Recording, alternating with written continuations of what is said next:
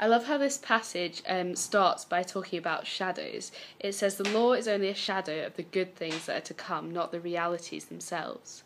And I've heard people say that um, the Old Testament has Christ shaped shadows on it, things that happened and stories of people that have parallel plot lines um, to the life and death of Jesus. And an example of this is um, Abraham with Isaac, he obeys God God's command to sacrifice his only son. But of course, when he comes to killing Isaac, God stops him and he sees the ram caught in the thorn bush um, and he kills that instead. And this is like God sacrificing his only son, and the way Jesus wore a crown of thorns is just like the ram.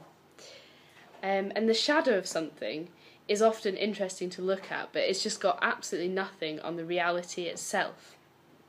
And the reality is that Jesus came to perfect the ways of the Old Testament. The unperfect way of gaining forgiveness was the yearly sacrifices.